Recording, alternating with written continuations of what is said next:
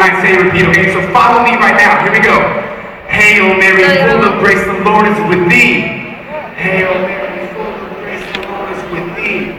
Blessed thou among women, and blessed the fruit of thy womb, Jesus.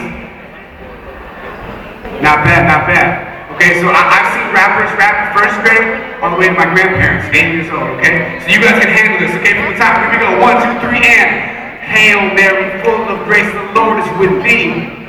Blessed thou among women, and blessed the fruit of thy womb, Jesus. Very good. Second part goes like this. Holy Mary, Mother of God, pray for us sinners.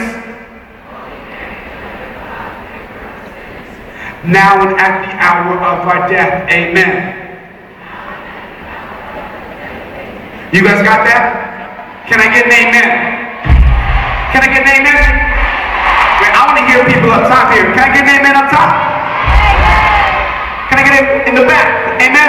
Amen. Over here. Amen?